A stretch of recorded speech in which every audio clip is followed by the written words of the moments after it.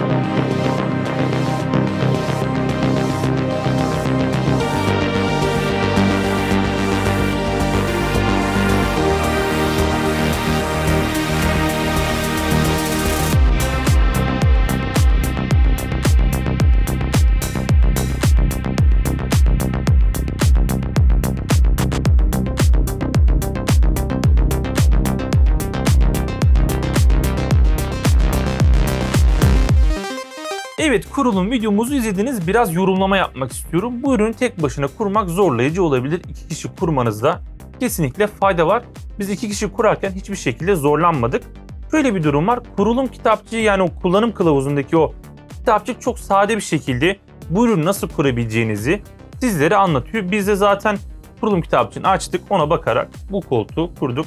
Anda zaten sizlerin karşısında kendisi duruyor. Ürün kumaş malzemeyle beraber geliyor. Uzun süreli kullanımlarda konforunu hissettiren bir malzeme. Dokunduğunuz zaman hissiyatı çok hoş. Çok uzun süre oturarak da test ettim. Herhangi bir şekilde uzun baskıya dayanarak sonrasında bir ağrı ile karşılaşmadım. Sünger kalınlığımız ortalama 10 ile 15 santim arasında. Bu bilgiyi de paylaşmak istiyorum. Oturduğumuz yerdeki süngerden bahsediyorum sizlere. Terletme durumu hakkında konuşacak olursak ee, şöyle ofis ortamında ben bu ürünü kullandım. Sabah 11'den akşam 8'e kadar neredeyse hiç kalkmadan 4-5 saat vakit geçirdiğimi hatırlıyorum. Ee, terletme yapmıyor. Yani ben evde suni deri bir oyuncu koltuğu kullanıyorum. Yine X-Ray markası. Bildiğiniz üzere suni derilerde terletme yaşanabiliyordu. Ama bu kumaş malzemeli koltukta ben bu durumla karşılaşmadım.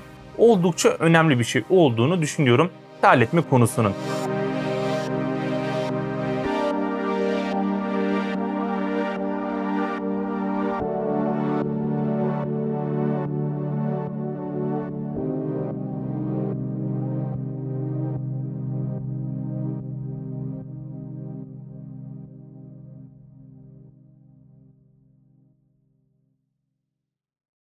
Bir diğer önemli nokta ise şu olacak. Ben 110 kilogram 1.85 boyunda olan bir insanım. Ve bu koltuğun oturduğunuz kısımlarında yan taraflarda yanal destekleri bulunuyor. Bu yanal destekler oturduğum zaman bana bir rahatsızlık hissiyatı verdi. Bu bilgiyi sizle paylaşmak istiyorum. Hayır vermedi. Zaten sizler şu an ekranda bu ürünün ölçülerini görüyor olacaksınız. Bu şekilde de bir araştırma yaparak yani o koltuğun kendinize uygun olup olmadığını da görebilirsiniz. Ben oturduğum zaman gayet kolay bir şekilde bu yan kısımlar beni kavrayabildi. E, herhangi bir batma hissiyatını bana hissettirmedi. Evet oturmuş olduğumuz kısmı sizlere anlattım yanal desteklerle beraber. Sırt kısmına geldiğimiz zaman burada yine kumaş bir malzemeyle karşılaşıyoruz. Bu malzemenin en büyük avantajı neydi? Hava alabilen bir malzeme olmasıydı. Bundan dolayı da uzun kullanımlarda daha iyi bir deneyimi bizlere sağlayabiliyor. Burası aslında benim en beğendiğim noktalardan bir tanesi. Neden? Şimdi burası yumuşacık bir yapıda. Buradaki kontör yeriyle beraber entegre bel desteğine erişim sağlayabiliyorsunuz. Bel boşluğunuzu uygun bir ayarlama yaparak bel ağrılarınızın önüne geçebilirsiniz. Çok aktif bir şekilde bu bölümü kullandığımı söylemek istiyorum. İlk olarak burası cırçıtlı bir yapıya sahip. Buradan mesela şu an kaldıracağım. Bakın burayı mesela kaldırabiliyorum. Hemen alt tarafında ise bu e, dediğim bel desteği mekanizması bulunuyor. Buradan hareket ettirdiği zaman mekanizmanın ne hale geldiğini de zaten sizler görebiliyor olacaksınız. Şu kısmında cırt cırt olması açıkçası oldukça güzel olmuş. Yani temizlemek istediğiniz zaman da kolay bir şekilde söküp üzerini bir bezle silebilirsiniz. Ya bu şekilde de silinebilir ama eğer ben çok daha detaylı sileceğim dersen eğer uzun kullanımlarda söküp kolay bir şekilde o kısmı da temizleyebilirsin. Orta yapıdan sonra yan desteklerle devam etmek istiyorum. Alt tarafta olduğu gibi burada da sırtımızı kavrayabilecek bir destek karşımıza çıkıyor. Oturduğunuz zaman sizlere vermiş olduğu hissiyatı oldukça başarılı. Zaten kumaş bir yapıya sahip olması nedeniyle elinizi şöyle yaptığınız zaman zaten o kumaşı hissedebiliyorsunuz. Bu hissiyat da oldukça hoş oluyor. Batma gibi bir durumla tabii ki karşılaşmadım. Çünkü çok kolay bir şekilde beni kavrayabilen bir yapıdan bahsediyoruz. Yan desteklerden sonra üst kısımdaki kafa yastığına değinmek istiyorum. Burası gerçekten oldukça önemli. Son zamanlarda gördüğüm koltuklardan farklı bir tasarımla beraber geliyor. Neden? Çünkü burada raylı bir sistem kullanılmış. Kafanızın durumuna göre bu yastığın konumunu ayarlayabiliyorsunuz.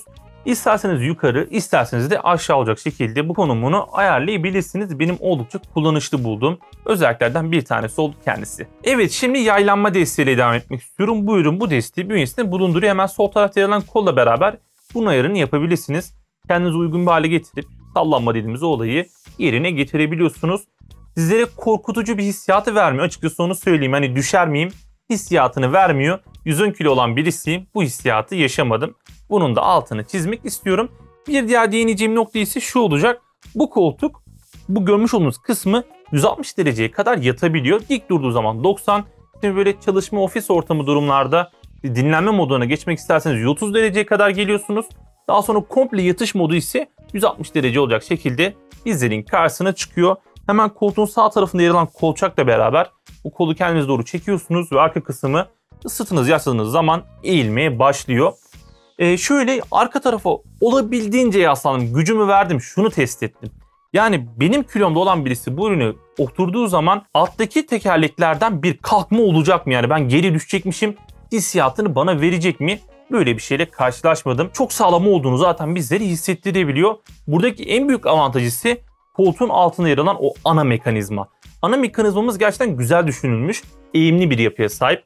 Yani güç dağılımı güzel bir şekilde yerine getirilmiş. Bu kısmı özetleyecek olursak mekanizma bizlere güven verebiliyor. Gayet sağlam bir mekanizmayla burada karşılaşıyoruz. Amortisör kısmımız da güzel. Yani boyu zaten klasik olan şeyi yukarı aşağı gibi durumları hareket ettirebiliyoruz. Şimdi ise kolçaklarla devam etmek istiyorum. Bu üründe en başarılı bulduğum noktalardan bir tanesi de bu olacak. Bu kolçaklar çok işlevsel. içe dışa, ileri geri, yukarı aşağı ve sağ sol kısımlara oynayabiliyor. Masanın altına girmek istediğiniz zaman da sizleri zorlamayacaktır. Yan tarafta yalan butona basıyorsunuz. Kolçağı aşağı itip masanın altına istediğin şekilde girebilirsin. Bazı oyuncular böyle göbekliğini sıkıştırıp masaya o şekilde oynamayı seviyorlar. Ben de öyle oynamayı sevenlerden bir tanesiyim. Bu durumlarda sizleri zorlamayacaktır. Kolçakları indirerek masanın altına kolay bir şekilde girebilirsiniz. Ayaklarla devam etmek istiyorum. Üründe metal bir ayak kullanılmış. 70 santimlik bir çapa sahip. Elektrostatik bir boya ile beraber kendisi kaplanmış. Gayet sağlam olduğunu söyleyebilirim. Tekerlekler kısmına gelecek olursak burada da kolay hareket eden tekerlekleri görüyoruz. Kilitleme desteğinin bulunmadığını da eklemek istiyorum. Ayaklarla alakalı şunu söyleyeceğim. X-Ray ürünlerin genelinde bu malzeme yapısıyla karşılaşacaksınız. E, ben de X-Ray Bora model bir oyuncu koltuğu var ve yapmış olduğum kullanımlarda herhangi bir olumsuz durumla karşılaşmadım. Özellikle ayak bölümü üzerinde. Çünkü dandik diyebileceğimiz oyuncu koltuklarında belli bir süreden sonra lastiklerin kopması yani tekerleklerin kopması ya da bu görmüş olduğunuz amortisör mekanizmasının artık belli bir süreden sonra işlevselliğini kaybettiğini göreceksiniz. Yani X-Ray genel ürünlerinde ben böyle bir şeyle karşılaşmadım. Gayet uzun ömürlü olduklarını söyleyebilirim. Peki Enes çok güzel konuşuyorsun ama bu ürünün fiyatı nedir? Ürünün fiyatı 4510 TL. Fiyatlarda değişiklikler yaşanabilir. Ben bu videoyu çektiğim tarihi 19 Ocak 2022. Bunun altını çizmek istiyorum. Sizler bu ürün hakkında neler düşünüyorsunuz? X-Ray 6'yı tercih eder miydiniz?